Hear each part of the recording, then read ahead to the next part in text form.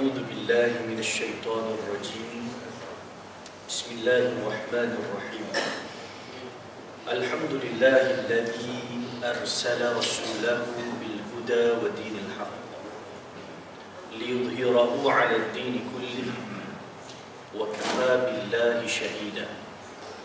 أشهد أن لا إله إلا الله وحده لا شريك له.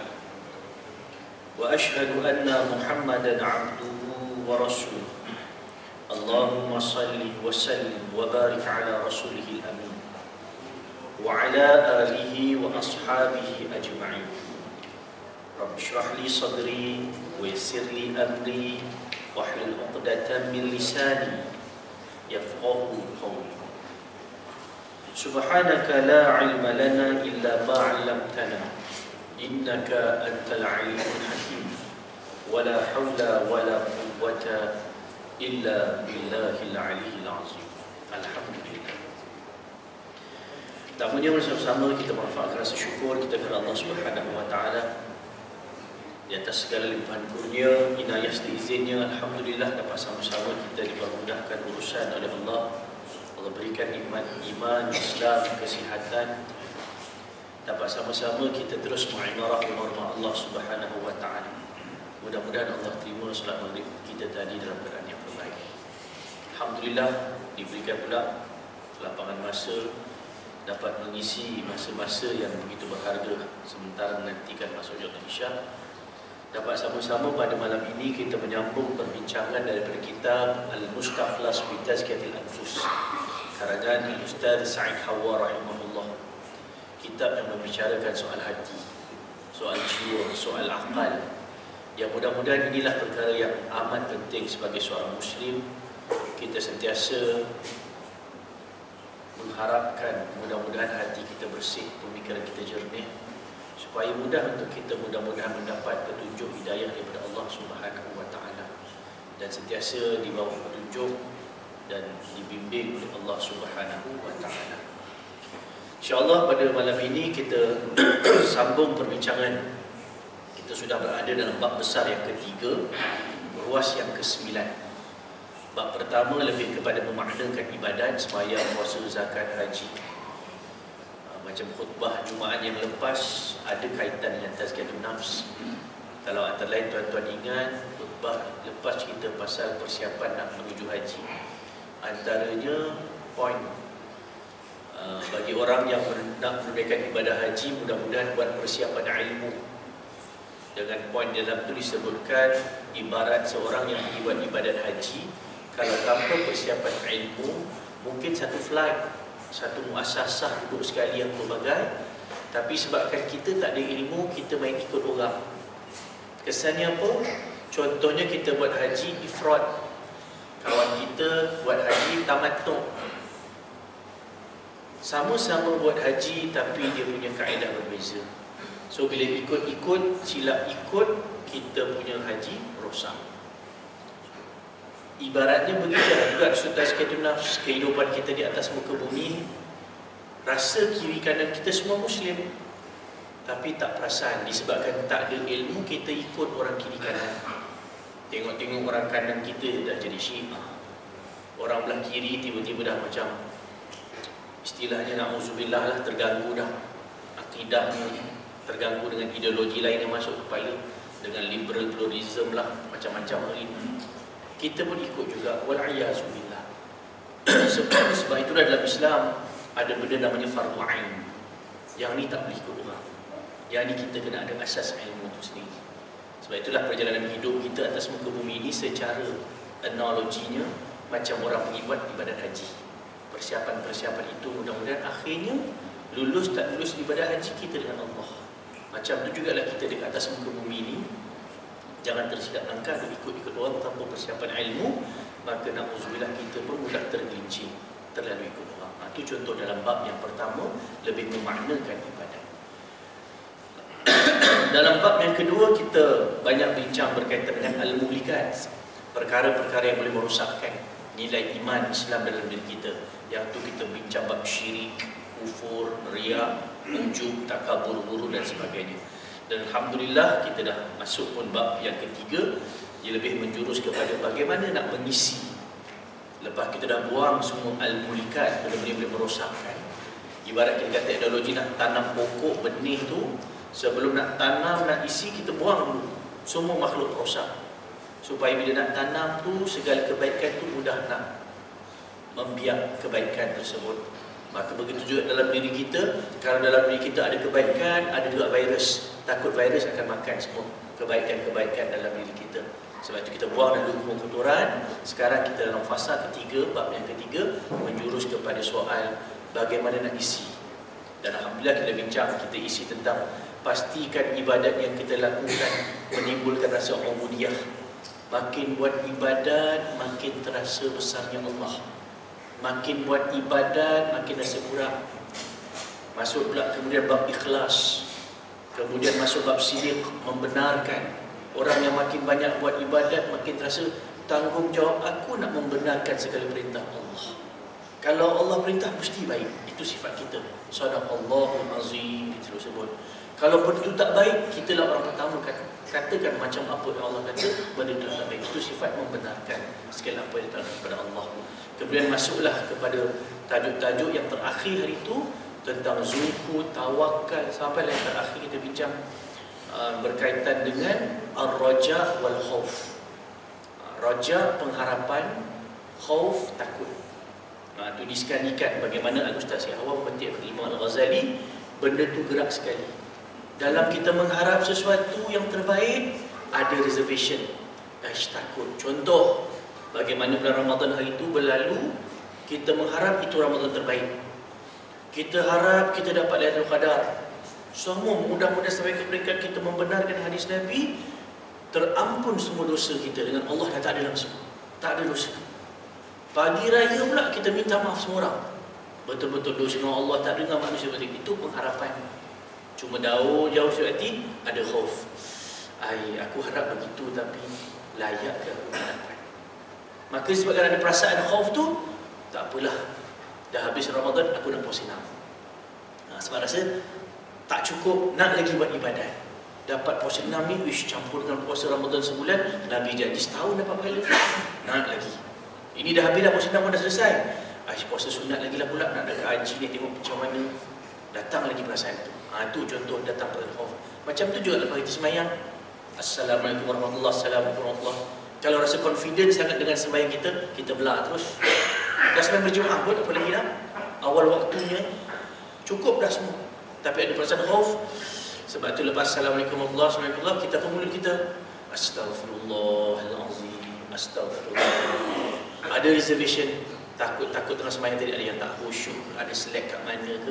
Istighfar cepat-cepat tampung takut-takut ada kurang tadi tak jadi nak sombong tak terasa hebat akulah paling hebat sembahyang Allah. No no ada rasa takut.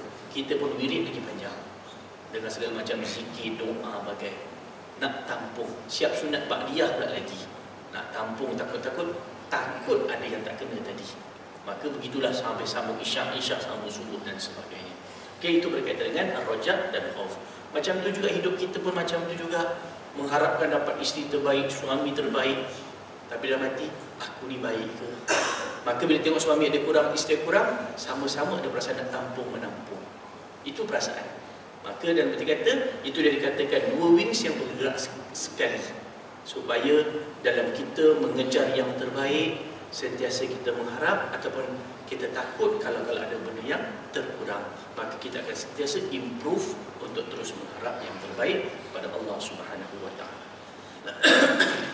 Baiklah hari ini kita sambung tajuk yang baru ruas yang ke-8 iaitu takwa dan wara'.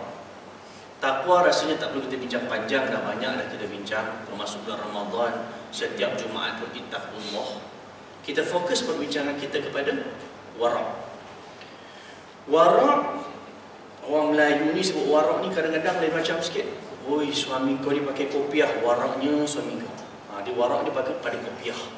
Oi suami kau balik daripada umrah ni pakai jubah je. Wara' dia sekarang. Ha, dia wara' pada pakaian. Wih suami kau tu macam ustaz lah Ada janggut warak sungguh Ada janggut warak Ini orang kita disebut tentang warak Belum lagi satu perkataan alim Alimnya suami kau Alimnya Padahal alim tu merujuk pada ilmu ha, Tapi orang kita biasa alim ni Merujuk pada baik ha, Tu nak kata Orang Melayu punya berbahasa ha. Cuma kita yang mengaji Alim merujuk pada ilmu Warak Apa dia pula? Ha, Yang ni kita nak, nak bincang Lepaskan Maka di sini boleh sebut tentang warak Warak ada berkaitan dengan takwa. Dari sudut kedua-duanya ada pesan takut. Takwa obviously takut kepada Allah. Ittaqullah Sentiasa rasa takut kepada Allah. Jangan tiba-tiba rasa macam hidup ni bebas sangat-sangat. Sebab tu hati-hati kalau tiba-tiba datang Suara-suara yang terlalu kuat Menyebut tentang perkataan freedom Hati-hati. There's no such thing. Freedom yang sampai tidak ada boundaries. Semua benda ada di punya kerangka yang nak kita sebut sebagai seorang Muslim. At least duduk dekat mana pun Kita ada Allah Dia mesti ada benda yang kita kena jaga. Maka begitulah sebut tentang takwa. Kita sentiasa bersama takut. Dan lebih halus daripada takwa itu Ada satu lagi yang disebut oleh para alim ulama Dengan istilah warak Maka di sini bila sebut tentang warak Disebut ada empat tingkatan. Untuk sama-sama cuba kita tengok Apakah yang diletakkan oleh Al-Imam Al-Ghazali. Tingkatan yang pertama Warak udul. Warak udul atau warak atas sebab sesuatu yang pasti. Ini basic, warak yang paling basic. Benda tu pasti haram. Dia akan tinggalkan. Benda tu akan haram. Orang yang warak, dia tinggalkan tu. Tak payah pergi yang sebab nanti bila sembang, sembang bincang tentang warak ni asasnya warak ialah orang yang boleh meninggalkan perkara-perkara syubhah agak-agak grey boleh tak boleh grey je kot orang yang warak boleh nampak grey dia dia akan tinggalkan yang grey area. Itu orang warak itu istilah tepat tentang warak cuma sebelum nak pergi grey make sure yang hitam tu tinggalkan. Itu basic kepada warak nak kata apa? Kita ni bukan kategori yang hitam tu kadang-kadang langgar juga. Contoh paling mudah dapat berita. Zaman sekarang lah paling mudah contoh dapat whatsapp orang phone. Betul tak betul kita dah marah dah dulu kita tambah kita forward lagi. Padahal semua kita tahu menyebar pada fitnah tu haram. So kita tahu dah benda tak betul tapi kelakar lah gambar ni. Kita forward juga. Dalam arti kata dalam tu ada unsur maki ke hina ke kita pun forward juga. Tahu dah menyebar benda tu ada dosa tapi sebab macam alah seronok-seronok je. Padahal confirm benda tu dosa. Tapi istilah kita alah semua orang buat tak apa kot ni istilah hukum baru. Bila semua orang buat benda jadi halal. Seolah-olah ni. Tapi bagi orang yang warak paling basic eh benda kan dosa kot. Stop it. Mengumpat. Obviously for, apa jelas benda tu haram. Orang tengah mengumpat. Orang yang warak mungkin yang paling basic dia tak tegur apa ni mengumpat? Paling tidak dia tinggalkan tempat orang sembang. Itu orang-orang ini paling basic paling basic. Ha, dia tak menambah-nambah dia tak dia tidak duduk sekali. Ha, ini perkara paling basic. Maksudnya ialah setiap perkara yang diambil darinya dari adanya suatu fatwa mengenai perkara yang jelas merupakan hal yang dapat dimaksudkan dalam hal keharaman secara mutlak atau tidak dapat ditawar-tawar lagi hukum haramnya itu. Sehingga apabila dilakukan maka pelakunya dapat dikatakan sebagai fasik atau kurang sempurna akal dan juga mengerjakan maksiat yang pasti disulami dengan dosa. Maka perkara paling basic waramudul orang yang berjaya melarikan diri pada benda haram. Ha, itu benda paling basic tentang orang ha, maknanya yang haram dulu berjaya ditinggalkan. Tingkatan kedua Iaitu yang dapat diberikan contohnya sebagai berikut. Semua perkara syubhah yang tidak wajib menjauhinya Namun disunatkan untuk menjauhkan dari mengerjakannya. Ha, Ini dah masuk dah. Masuk grey area dah. Benda tu nak kata haram tak haram. Tapi lebih baik tinggalkan Yang inilah orang-orang akan tinggalkan. Adapun kesyubhatan yang wajib dijauhi maka perkara itu dianggap sebagai perkara yang haram. Di antaranya lagi ialah suatu yang makruh untuk dijauhi. Bersikap warak dalam masalah ini adalah warak ni orang yang masih memiliki sifat was-was atau masih terkena godaan syaitan sebab syaitan itu sentiasa mengajak ke jalan haram. Atau apabila tidak dapat langsung cukuplah dengan yang makruh dulu. Ha, orang yang warak dia tak dapat nak tinggal. Contoh contoh lah ya contoh. Ustaz hukum rokok ni apa yang makruh ke haram? Contoh. Tak makruh pun eh. Ustaz kata makruh. Atas nama warak walaupun benda itu makruh ditinggalkan apa lagi? Banyak benda kalau kita nak bincang. Bab makan. Rasa kedai tu macam halal rasa. Kita main rasa kita pergi kedai tu pula eh langsung tak ada logo halal. Tapi based on semua orang makan halal kot. Ada kita macam hukum kita pun banyak pesan terbaik ustaz belajar ambil yang zahir. Maka kita pun makan Tiba satu hari itu tiba-tiba nampak ada orang bawa babi masuk dalam dan kita nampak babi itu masuk. Orang makan babi. Timbul persoalan, ish tapi aku tak nampak dia masak babi. Contoh. Tapi kenapa perlu ada angkat babi dalam tu? Ataupun ada upacara pelik-pelik dalam tu? So timbul perasaan was-was. Ah tu dah masuk kategori orang yang warak tak apalah aku tak takut tak masuklah kedai itu. Tapi bukan kerja aku nak memburukkan kedai itu. Takut jadi silap faham. Takut jadi fitnah. Tapi atas nama warak Orang lain makan aku tak campur.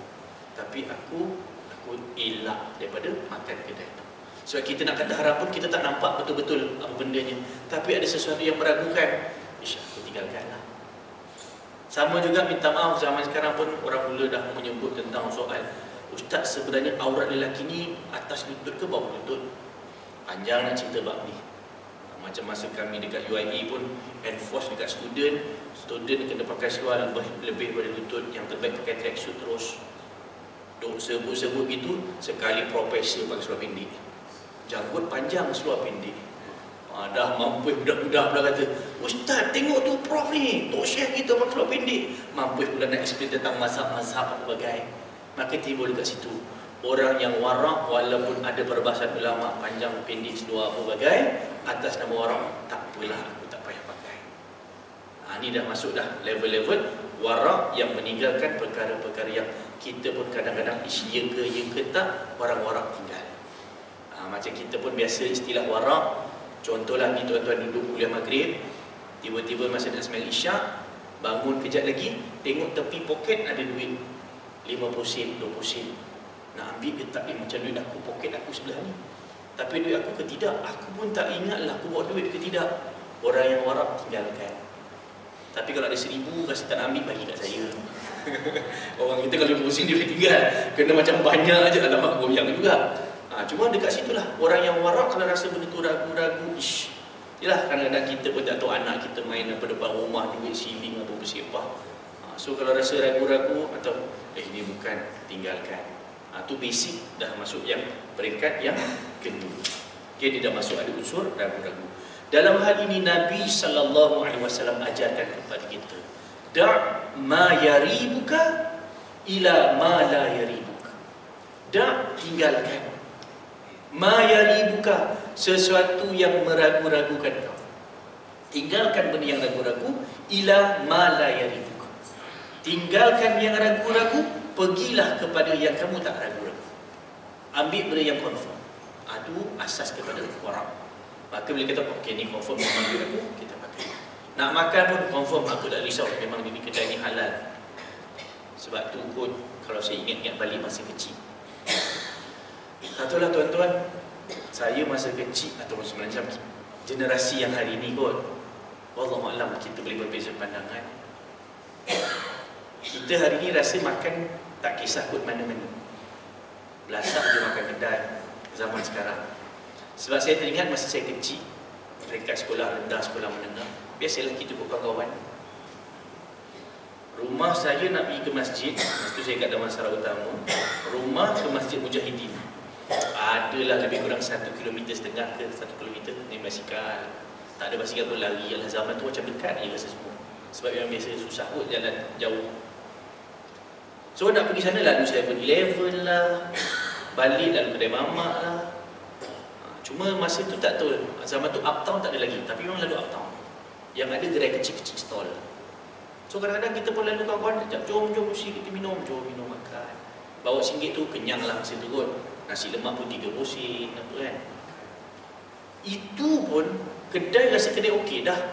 Lalu orang masjid Ingat lagi Pak Bilal Pak Mahir Eh ni Nusi ni Buat apa ni ha, Minum-minum dengan kawan-kawan Makan-makan Baru tingkatan satu ke darjah enam Itulah dekat rumah tu Minum-minum Eh bapa tak marah ke?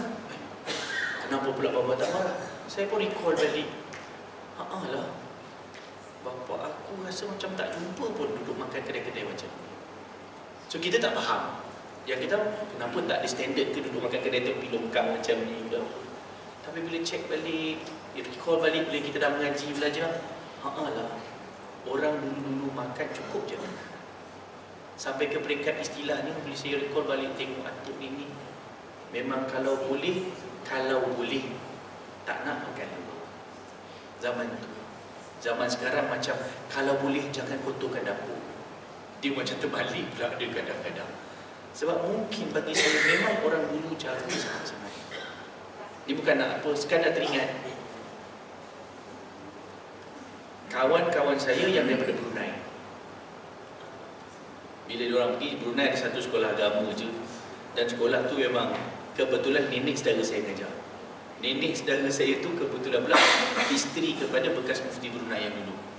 Omar Abdul Aziz yang orang Johor. Jadi mufti Brunei.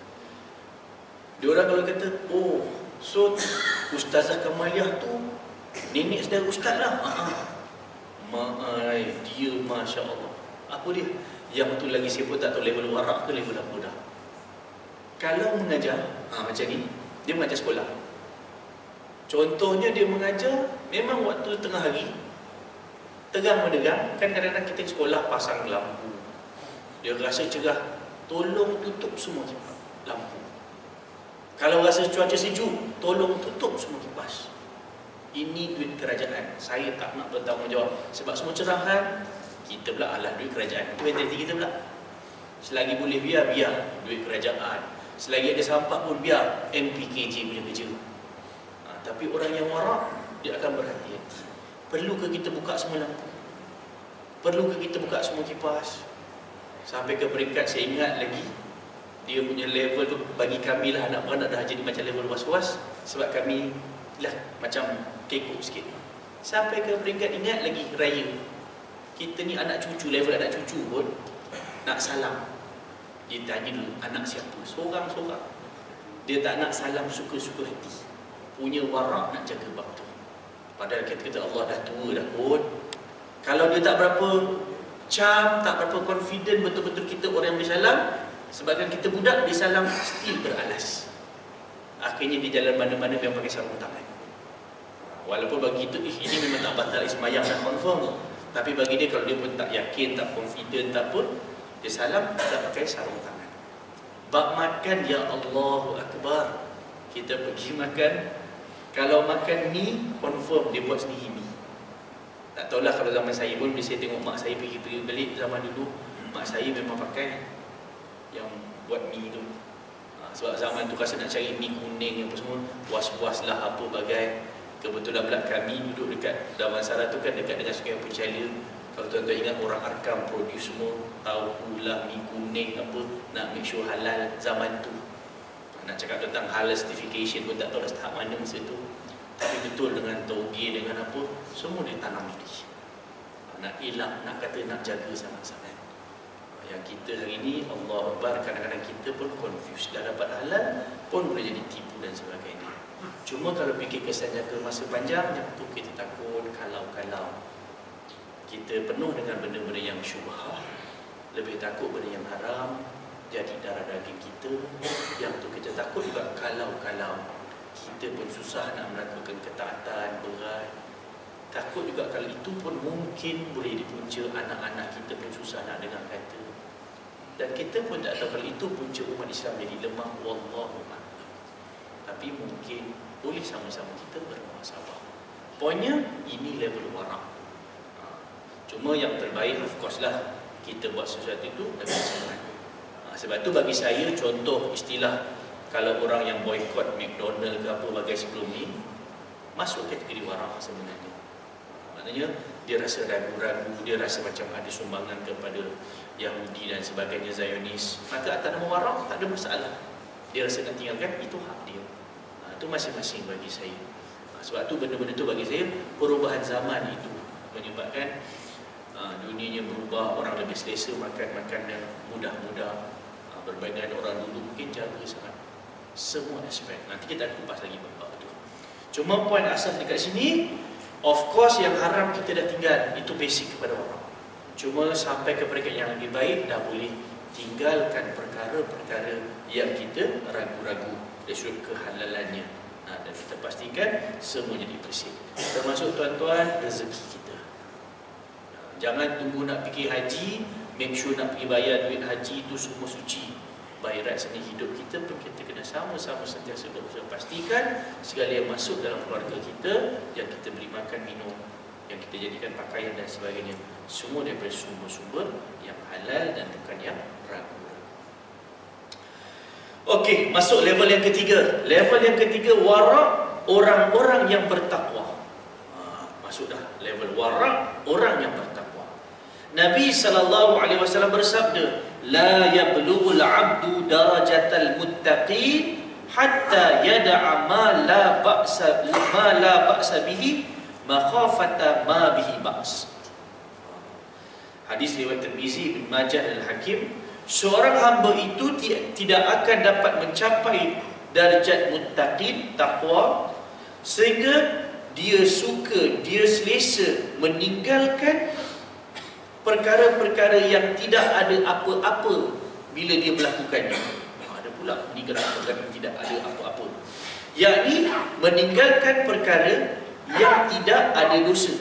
Buat benda itu tak ada dosa pun tapi dia lebih selesa tinggalkan sebab dia ada perasaan takut kalau dalam melakukan itu tiba-tiba ada apa-apa. Yakni tiba-tiba ada dosa.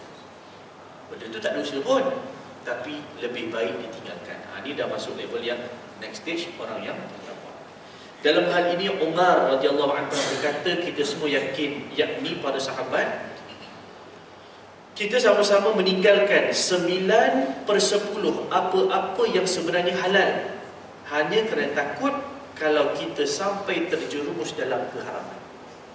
Ha, sebab tu kalau biasa dengar hadis kan Nabi pesan kalau kita mengembala jangan pergi dekat border. Kenapa? Kalau pergi dekat border mudah sangat nak tergelincir. Ha, maknanya benda tu tak haram masih halal lagi. Tapi jangan dekati border. Takut mudah sangat terlancar. Ha, benda tu masih halal, tak ada masalah. Pun buat. Cuma kalau buat, takut jadi dosa. Contoh, minta maaf sebut, salah ke masuk pergi konsert? Haram ke masuk konsert? Kena pula konsert-konsert yang rasa macam eh, semua tutup aurat. Contoh, ha, tapi namanya konsert juga. Gelap-gelap, lagu pun sebenarnya bukan nasyid pun. Ish, macam okey pergi panggung panggung wayang di sinema contoh perkara-perkara ini lagi pula generasi muda macam kekok kalau kata haram. Nak kata haram ish, sampai ke haram ke tak? Hari ni kalau kata haram mesti orang kata kolonnya ustaz ni tak tengok panggung tengok wayang. Saya tak buat apa-apa tapi atas nama warak ha, ni. Nak kata dosa ish tak dosa pun. Tapi air mudah sangat tergelincir. Takut ada benda-benda. Siapa pula kiri kanan? Apa lagi contoh? Pergi apa nama uh, disco. Uh, di zaman sekarang pula apa hari tu? Buat fashion show dekat Zoom lah apa bagai. Uh, tu contoh. Nak kata haram dia tak minum arak pun. Tapi keberadaan dekat tempat-tempat macam tu kan mengundang benda-benda yang tak berapa elok uh, suasana tu jadi tak macam sama lah juga mungkin minta maaf sebut Minta maaf sebut. Bagi kita pula orang yang bekerja Dengan suasana raya apa bagai Bercampur laki perempuan dekat ofis. Tak ada apa kot office mate je nak pergi lunch sekali. Macam mana pun kita makan kebetulan Ustaz dia tak ada kereta. Kita pun bawa sekali. Hati-hati kita ni laki orang tu bini orang. Kalau tak laki orang pun tak bini orang pun Ish macam tak kena. Ni masuk kategori tadi tu.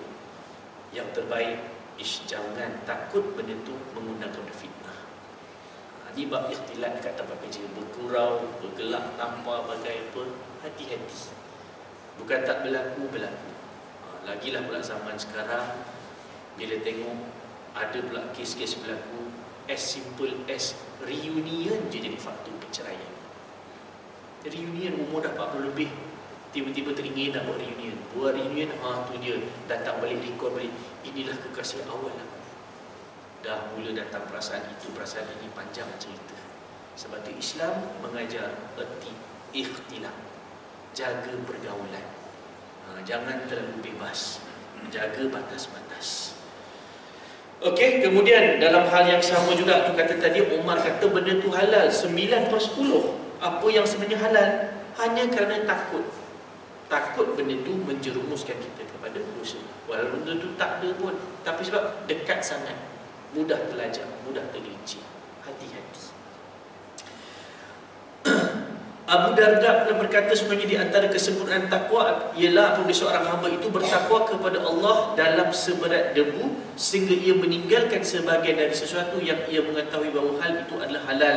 Namun dia enggan mengerjakannya sebab takut kalau kalau hal itu adalah hal yang haram. Sehingga keengganannya tadi akan merupakan tabir antara dia dengan neraka halal tapi ish, takut sangat tergelincir. Kita buat kerja kita buat bisnes buat projek.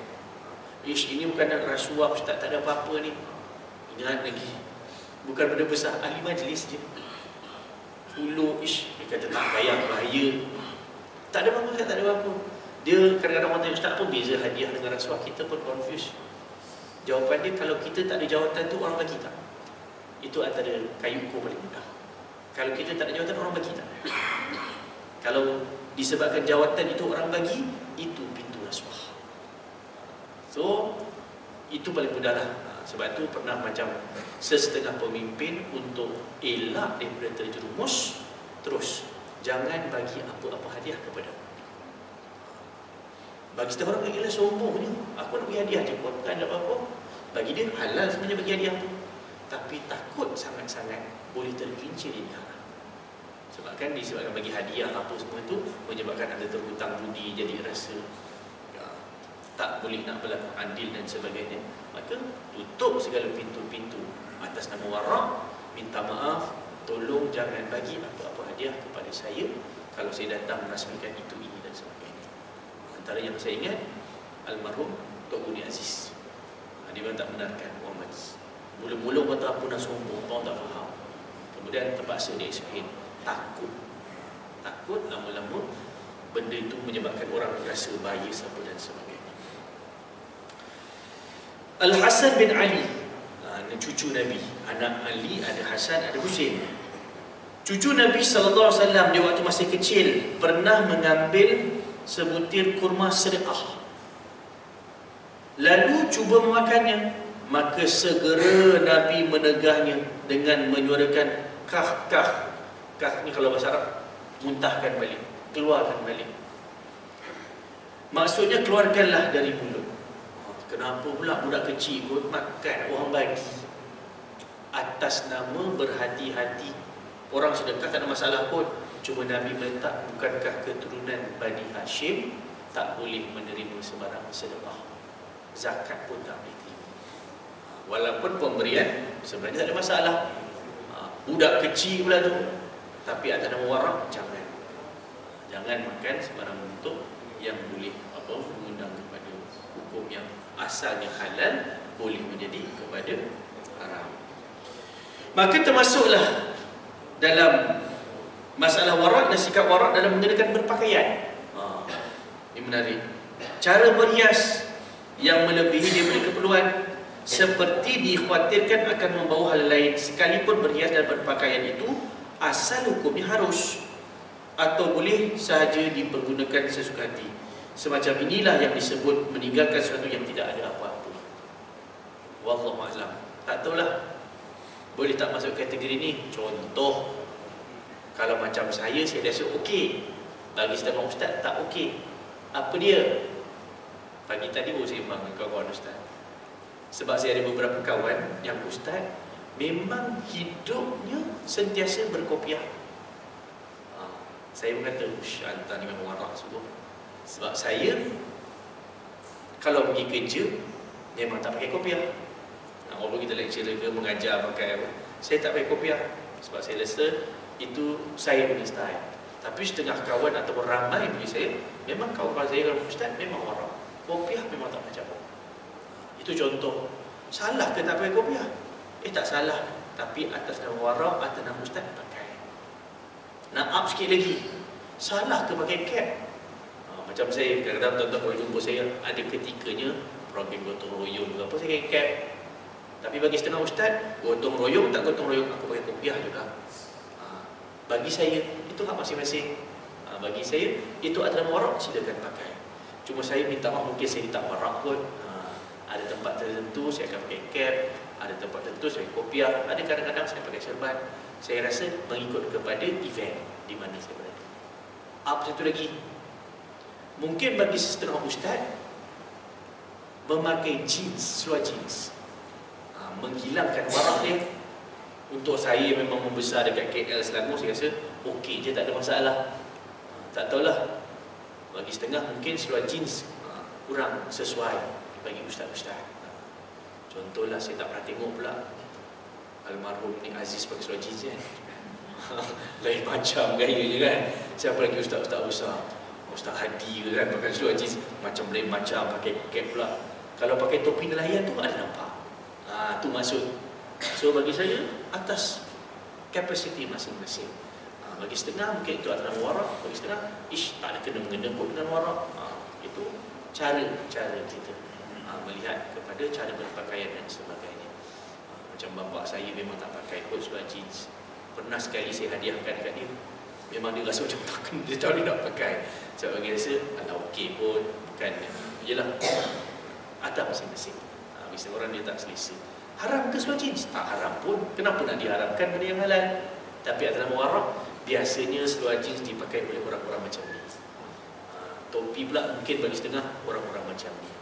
Ha, cuma saya mungkin dan beberapa kawan saya lah ustaz-ustaz yang grew up mungkin di kawasan-kawasan yang bandar yang family unim bagi kami dia tidak uh, menjadikan seorang itu hilang siqah dan sebagainya. Uh, lagi pula macam saya saya meletakkan kami meletakkan atas nama dakwah dan mendekati anak muda dan sebagainya kami rasa imam pakai cap tak imam. Imam tak pakai. Ha, jeans pun tak pakai eh? Allah, itu contoh lah contoh contoh kan ha, Takut pakai baju sama lari tu kan. Kena balap pakai JC Perancis kan. Contoh. Ha, tu bagi saya itu atas masing-masing. Atas nama warak betul. Silalah berpakaian begitu Itu contoh. Haram tak haram. Tapi atas nama warak tak selesa. Begitu juga bagi tuan-tuan perempuan Bagi setengah Sampai satu fasa kehidupan Dia rasa Ish dah tak kenalah Kalau saya nak pakai macam ni. Atas nama warak tu sebenarnya. Benda tu terbina dalam hati sendiri Dulu aku pakai macam ni, tudung macam ni, beg macam ni. Eh rasa macam dah tak kena lah. Sebenarnya benda tu datang dari dalam. Kita yang rasa Dah bukan aku pun nak pakai-pakai macam ni. Okey, itu berkaitan dengan uh, Perkara-perkara yang halal Benda-benda yang boleh Tapi atas nama warak kadang-kadang Kita tinggalkan Atas nama warak Begitu juga dengan makan minum Berwangi-wangian Berlebih-lebihan. Okey atau yang punya suami isteri sekalipun sudah pernah kahwin sebab suami itu dapat menggerakkan kesyawatan okey atau mewarak. Contoh suami isteri salah ke nak pergi mas pasar malam nak makan durian pegang-pegang tangan. Peluk-peluk. Salah ke? Suami isteri pun. Tapi atau mewarak ish takut tak kenalah kita buat benda ni banyak budak-budak bujang. Macam kurang manis. Atau warak ya kita tetap mesra tetapi tidak berlebih-lebih tak sesuai. Walaupun kadang-kadang hari ini ada human rights sukatilah isteri aku ni suami aku. Tapi atas warak kita akan jaga sampai ke peringkat tu. Nak cerita tentang apa? Cerita tentang anak. Apa salah cerita? Oh ya anak aku berjaya dapat masuk universiti apa bagai? Atas nama warak ish tak nak cerita lah. Kita tak tahu tak depan kita ada kawan anak pun tak ada. Ada anak mungkin gagal. Atas nama warak salah ke nak cerita? Tak salah sebenarnya tapi ada orang jagalah sikit takut ada yang kecil hati ke kita nak share kegembiraan tapi bagi orang terasa down dan sebagainya. Ha, ini benda-benda akan muarab sebenarnya ni. Kita akan begitu berhati-hati. Jaga semua keadaan supaya mudah-mudahan tak ada siapa pun yang terasa ter, tersentuh dan sebagainya Okey dan yang terakhir yang disebut tentang warak ialah warak kaum siddiqin yakni orang-orang yang mempercayai dan mengerjakan sungguh-sungguh mengenai hal-hal yang diperintah dan hal-hal yang dilarang oleh Allah Subhanahu wa taala. Bagi mereka apa yang dianggap halal ialah sesuatu yang tidak didahului oleh kemaksiatan dan sebab-sebabnya pun bukan kemaksiatan juga tidak dapat dijadikan sebagai penolong untuk mengerjakan kemaksiatan apabila telah dicapai. Demikian pula tidak akan dimaksudkan untuk memperoleh hal yang berupa maksiat baik sekarang maupun nanti serta tidak dipergunakan untuk suatu hajat yang mengarah pada kemaksiatan. Langsung tak ada associate dengan dosa. Tapi yang kadang-kadang kita takut Bismillah Hari ini banyak sangat Mudah ada je Buat kebaikan Bercampur dengan dosa Matlamatnya cantik tapi caranya bercampur dengan dosa. Itu yang saya takut hari ini macam diajar satu bentuk pemikiran matlamat menghalalkan cara. Yang penting niat baik. Belakang kolak tepis. Matlamat baik. Contoh biasa kita buat macam mana? Ada seorang mak dia sakit. Perlukan rawatan 20 ribu. Ya, aku tak ada duit tapi inilah perjuangan aku yang terbaik untuk mak kita tak tahu dah ada panjang usia ke tidak. Apa buat? Cari jalan duit baik or baik yang penting dapat rawat. Niat baik tak baik. Tapi dengan cara rompak ke curi ke menipu ke demi nak dapat duit. Minta maaf dalam Islam ini bukan cara. Matlamat kena betul cara pun betul tapi hari ini nak musbilah kadang-kadang takut nak buat benda baik. Buat masjid pun nak musbilah ada benda-bendanya campur-campur dosa pada bukan. Buat masjid keluarga pun namanya berkahwin. Kahwin kan baik, tapi dalam berkahwin tu campur juga majlisnya, sumbernya. Islam ajar kalau warak ni warak semua-semua. Jaga-jaga semua-semua. Majlisnya, pasangan tu niat kahwin tu kenapa? Ha, ni jangan bapak pun ada kesempatan ada will personal punya kemahuan ada konflik of interest pilih ini sebab bapa ada ni dengan ni dengan ni dia bercampur semua. Ha, sebab tu elakkan walimah tu pun jangan ada bercampur dengan benda-benda yang syubhat yang haram. Jaga semua. Supaya mudah-mudahan berkat apa yang kita buat. Sebab tu hari ini cabaran akhirnya kasih boleh tak nak buat sesuatu itu dengan ikhlas dengan jujur kerana sekecil-kecil perkara sampailah sebesar perkara. Jangan bercampur dengan niat-niat yang terbesar yang na'udzubillah mengundang kepada dosa kita kepada Allah Subhanahu wa taala. Maka inilah kemuncak kepada apa nama warak tadi dan di sini disebutkan beberapa contoh. Pertama, warak dengan jalan mencari rezeki yang halal di dalam masjid. Buat rezeki, cari rezeki tapi ada benda yang mungkin tak berapa kena dalam masjid. Seperti menjahit pakaian di dalam masjid. Dia buat bisnes alah tak payah pergi jauh lah. Masjid ada banyak facilities. Gunakan facilities masjid. Halal tak? masjid kan tu public halal lah. Tapi takut ada benda-benda yang menyebabkan tak berapa nak solid bersih kita semua. Kita punya usaha cari rezeki tadi tu salah ke tak salah. Tapi dan nak masuk kereta dia datang masjid ambil kasar ni? Masuk kereta kat masjid ke apa? Ha, dia takut ada benda yang tak kena dekat situ. Ha, kalau dekat tempat kerja ha, ni minta maaf lah kadang-kadang kita pergi mau pagi kuliah zuhur lah pelbagai pergi kuliah zuhur kuliah zuhur pukul 1 pukul 12 tengah 12 tengah dah penuh dah melengkor apa tu? Iktikaf ustaz kena tak beriktikaf di surau tempat kerja kita? Kalau 12.30 tu satu masih lagi office hour kalau tak office hour pun okey ke sumber rezeki kita surau office tu jadi tempat tidur? Ha, unless memang bos kata saya nak 12.30 poin ulah lah masing-masing. Itu lain. Takut ada benda yang tak kena dekat situ. Nak kata haram ish macam tak tahulah. Ha. so bercampur dekat situ. Benda tu hati-hati campurlah macam kita pula dekat office guna internet apa bagai untuk urusan peribadi. Hati-hati. Yang paling risau kerjanya update Facebook kerja kau waktu office awal. Kau ni kerja kan kau buat apa sebenarnya? Apa kerja kau sebenarnya? Ha, dia bercampur-campur. Hati-hati. Semua sekali kita saling ingat untuk ingat. Ha, rasa macam halal tapi takut dan bercampur dengan Kedua, sebagian para ahli warak juga memadamkan lampu minyak yang dinyalakan lalu menyatakan bahawa ia tidak memiliki harta satu kaum yang tidak berhati-hati dalam hal warak. Seingat saya antaranya siapa? Umar Abdul Aziz kot.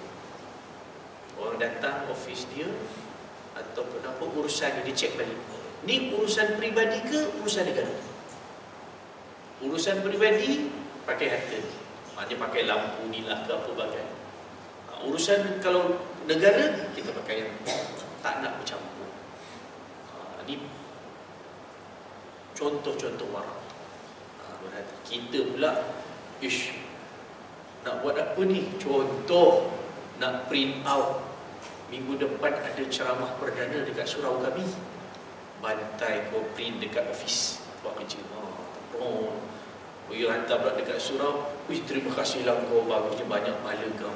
Banyak pahala kau banyak dosa aku tak tahu. Ha, Contohnya kan. Bila kita niat baik. Niat baik nak bantu tolong letakkan poster apa bagai untuk kita punya ceramah apa kan Tapi kita tak perasan Benda itu bercampur. Halal haram ha, sama-sama kita bermuasabah ha, Takut benda itu satu yang Okey, begitu juga lah yang lain-lain. Uh, Menyalakan dapur buat roti Dalamnya ada baru kayu Okey, itu semua contoh-contoh yang dulu Yang saya rasa cukuplah sebagai gambaran Bagaimana empat tingkatan warak yang kita bincang pada hari ini Yang mana asasnya Islam nak ajar Tinggalkanlah perkara-perkara syubhat Perkara-perkara yang haram. Begitulah juga minta maaf sebut Dalam konteks zaman sekarang Berhati-hati dengan pemikiran-pemikiran Yang saya takut hilang unsur warak Maknanya tak berhati-hati, tak cermat Cuma kadang-kadang minta maaf saya sebut Takut bercampur aduk dengan sentimen. Macam hari itu ada isu LGBT Tolong janganlah lebih-lebih pula nak Hentam sana, hentam sini Sebab kita tak setuju dengan orang. Tolong jangan fokus pada orang Fokus kepada bahan perbincangan. Jangan tengok siapa, tengok apa kita nak cerita pada dapur Contoh itu apa benda isu LGBT Seolah-olah ditanamkan kefahaman kepada masyarakat kerajaan hari ini macam menyokong LGBT hati-hati bagi saya benda ini kita kena cermat. Saya tak perasan pula kalau kerajaan menyokong. Tapi individu-individu mungkin sedang cuba melobi benda-benda ini so bagi saya tidak adil kalau terus namakan itu sebagai kerajaan.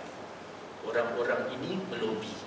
Cuma mungkin statement Menteri Agama hari itu menyebabkan orang sedikit confused pengamatan saya saya tidak melihat menteri agama itu menyokong LGBT cuma statement dia bagi saya betul dari sudut LGBT itu bila dia mengatakan tentang dosa individu. Betul betul benda tu. Jangan spin jangan kata apa cari pasal lah. Takut dia dosa. Cuma ayat dia tu bagi masyarakat yang umum yang tak suka akan mudahlah mainkan isu. Contoh bila kata individu bukan kata LGBT gay ke homoseks zina sekalipun. Saya rasa saya pernah cerita. Hukum dalam Islam contoh kita dekat taman ini jiran kita ada satu rumah student contoh. Student university semua perempuan. Apa yang berlaku dalam itu bukan kerja kita. Dia tengok cerita tak elok ke apa itu kita tak boleh nak campur. Dosa confirm dosa kalau benda tu dosa. Itu kena clear tapi tiba-tiba ada budak lelaki dua orang masuk rumah. Kita nampak di situ baru masuk kita bertanggungjawab. Sebab kita nampak. Sebab tu asas paling mudah faham kan hadis Nabi man ra'a minkum munkar. Siapa nampak? Kemungkaran itu mesti nampak. Baru kita boleh cegah. So bila nampak ada dua orang, ish kita pun nak ambil tindakan bukan sebab dengki. Bukan sebab benci tapi sebab sayang Wih, budak perempuan ni baik-baik ni ha, Macam mana aku nak buat Ya Allah Begitu surau Surau begitu masjid Masjid begitu pakit Begitu polis Datang ke tu Sebab kita nampak Maka adakah salah mengetuk pintu? Tak. Benda tu dah jadi betul. Sebab ada orang nampak. Ha, sebab tu nak ingkar kemungkaran, nak mencegah kemungkaran, benda tu mesti nampak. Sebab tu no such thing lah nak buruk-burukkan image pejabat agama seolah-olah tak ada kerja nak ketuk pintu hotel lah. Tak ada. Dia orang takkan ketuk saja-saja. Salah mengetuk pintu hotel, pintu rumah tanpa sebab. Minta apa surat kahwin bagai tanya orang sini datuk semua mana. Sijil kahwin tak tahu kat mana dah pun. Kan? Silap-silap tak tahu dah kat mana pun. Tapi secara asas memang tak ada orang nak tutup pintu. Cuma kalau ada aduan, ada benda-benda yang suspicious, yes, mereka berhak sebab ada orang nampak. Sebab tu satu juga ayat Quran yang tuan-tuan biasa baca dalam surah Al-Hujurat, Allah kata apa? Wala tajassasu. Jangan kamu spy. Jangan kamu intai-intai. Tak boleh intai-intai. Intai-intai bukan kerja kita. Kita ambil benda yang kita nampak. Nampak kita minta permission masuk. Ha, bila keluar ish ada dua orang lelaki ha, baru dia charge. Sebab itu dalam charge macam ni jarang ke charge ke zina, charge khalwat. Sebab ada keadaan yang suspicious. Sebab tu zaman Umar pernah ada kes. Umar lalu satu rumah, Umar suspicious, rasa macam ragu-ragu ada benda tak kena kat rumah tu. Apa Umar buat? Umar pergi panjat, intai. Nampak? Yes, betul dia minum arak. Tuan rumah kata, Wahai Umar, betul aku salah, aku minum arak. Tapi aku buat satu kesalahan. Sedangkan kau dua kesalahan. Dua kesalahan. Satu, engkau masuk rumah aku tak minta izin. Kedua, engkau intai dia rumah aku. Engkau buat dua kesalahan, sedangkan aku satu je kesalahan. Nak katanya dalam Islam, ya, nak mencegah kemungkaran, kena benda nampak. Ha, tapi dalam dunia hari ini, minta maaf lah, kalau kau pun yang pakai baju kau laki jadi macam perempuan kau tunjuk kat satu dunia engkau yang menampakkan diri kau. Ha, maknanya benda tu nampak. Ha, ini benda yang kita kena cegah. Cuma bagi saya, bab-bab ni kena hati-hati. Janganlah kebencian kita ataupun kita tak bersetuju dengan satu pihak, tiba-tiba kita tidak berlaku adil. Ha, benda ni hilangkan. So, Islam letak biar ilmu tu kat depan. Bukan sentimen dan semangat kat depan. InsyaAllah semua benda akan lebih baik. Ha, cuma statement berkaitan dengan Hifzuddin, yang tu saya berbeza pandangan bila kata rahmatan lil alamin seolah-olah seolah-olah apa nama maksud syariah tu nak menjaga memelihara semua agama. Yang tu alhamdulillah ramai orang dah tegur. Dan ini saya nampak menteri itu pun tarik balik dah. Terangkan balik explain balik.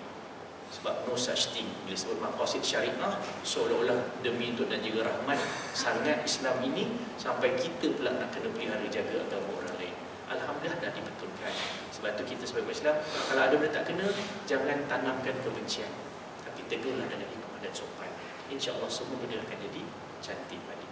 Tapi kalau orang yang warak Elak sebut benda-benda yang boleh Menimbulkan confusion dalam masyarakat.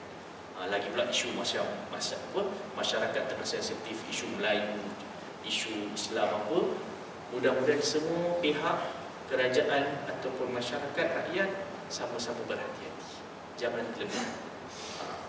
Ini belum cerita dari Tamil Naidu lah pun Timbalan Ketua Menteri Buah Pinang lah pula Dengan LTTE yang tu ada sedikit risau So umat Islam kita ada pelajaran Jangan terlebih buat sesuatu yang menimbulkan suasana tak tenang Kita berikan kepercayaan kepada pihak yang berautoriti Ada pandangan suarakan dengan cara yang paling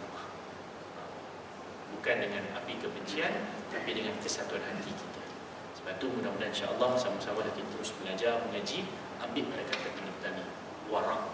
Benda tak pasti jangan cepat sangat. Takut jadi silap jadi dosa. Dan lebih sedih lagi dosa tu jariah. Kita dah mati fitnah yang kita panjang-panjangkan itu berterusan pakai dan sumpah. So mudah-mudahan sama-sama kita ambil aktibar, ambil pengajaran, berhati-hati. Sebab kita buat apa-apa dia ada perkiraan dosa pahala, syurga dan neraka. Allah Mudah-mudahan dapat sama-sama kita beramal dan dapat sama-sama kita kongsikan di dalam tetangga insya-Allah. أعوذ بالله من الشيطان الرجيم. بسم الله الرحمن الرحيم. الحمد لله رب العالمين. والصلاة والسلام على أشرف الأنبياء والمرسلين وعلى آله وصحبه أجمعين. اللهم اجعل جمعنا هذا جمعا مرحوما وتفرقنا من بعده تفرقا معصوما. ولا تجعل اللهم فينا ولا من معنا شقيا ولا مطرودا ولا محروما. اللهم أرنا الحق حقا وارزقنا اتباعه. arinal batila batilan warzuqna ijtinaba Ya Allah ya Tuhan kami tunjukkanlah kepada kami yang benar-benar jelas kebenarannya dan berikanlah kepada kami kekuatan untuk menuruti, mentaati, mempertahankan dan memperjuangkan segala kebenaran daripada Ya Allah dan tunjukkanlah kepada kami Ya Allah yang bersalah itu jelas sesat, dosa dan kebatilan dan berikanlah kepada kami kekuatan untuk menolak dan meninggalkan segala sesuatu yang bersifat dosa dan kemungkaran. Allahumma faqihna fid din wa 'allimna ta'wil wahdina siratal mustaqim. Ya Allah ya Tuhan kami berikanlah kepada kami kefahaman dalam beragama dan tunjukkanlah kami jalan yang keredai. Rabbana atina fid dunya hasanah wa fil akhirati hasanah wa qina 'adzaban nar. Wa sallallahu ala sayyidina Muhammad wa ala alihi wasallam walhamdulillahi rabbil alamin. Yang baik daripada Allah yang berbuat silap di diri saya sendiri. Saya minta maaf semua. Wabillahi taufiq wal hidayah. Wassalamualaikum warahmatullahi wabarakatuh.